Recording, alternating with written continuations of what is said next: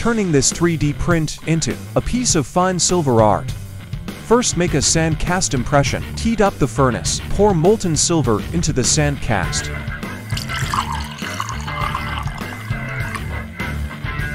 Leave it to cool for a few seconds. Give it a flip over. Looks about right. Time for a quench in a water bath. A quick inspection before cleanup. Toned up pan looking good. Thanks for watching Silver Punks. If you want more interesting silver pouring videos, don't forget to subscribe.